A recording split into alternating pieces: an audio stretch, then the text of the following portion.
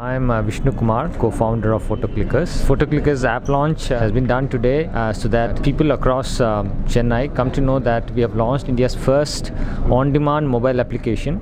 both on the iOS platform as well as the Android platform.